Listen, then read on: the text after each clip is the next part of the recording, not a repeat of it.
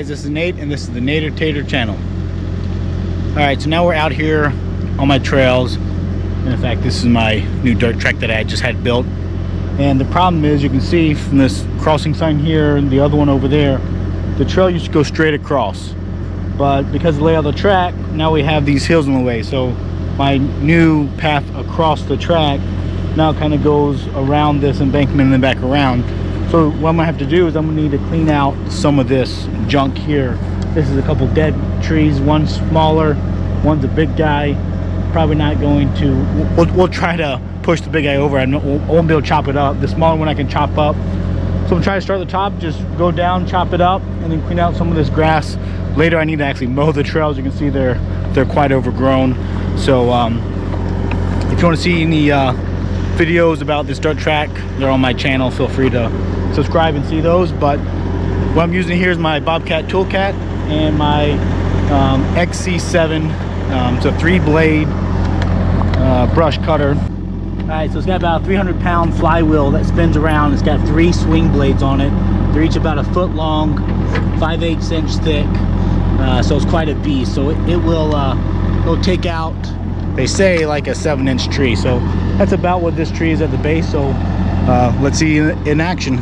All right so we're in here. I got my ac going in here. It's about 80 degrees outside but uh, let's try to take out this big tree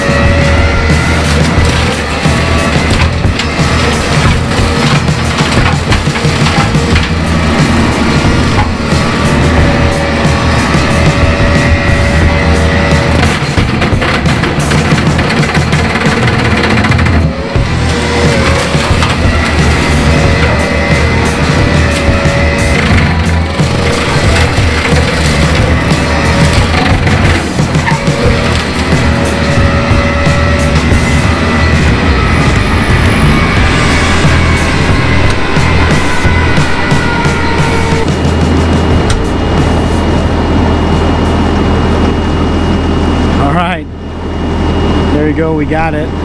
So I had to push the tree a few times to get it to lean over. The problem is, you know, the push bar is a little bit proud of the where the blades hit. So if you can't push the tree over at the ground level, then you can't ever get the um, the blades to hit it. So had to go up high and push it a few times to get it loose enough I could come in and uh, actually hit it with those those swing axes. So um, there you go. I mean, this thing is obviously this is a hand, so um, you know it's a good eight inches or so apart.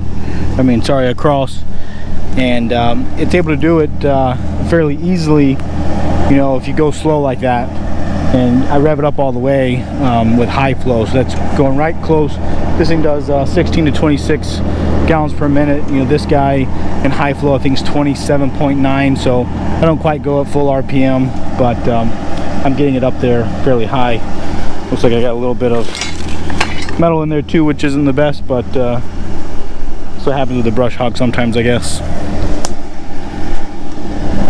So if you like this video, feel free to uh, subscribe and you'll see some more stuff like this. I'm doing everything from uh, chores with my toolcat to technology, smart home stuff. Uh, you, uh, you name it around my property and I try to film it and put it up on my channel. Thanks for watching.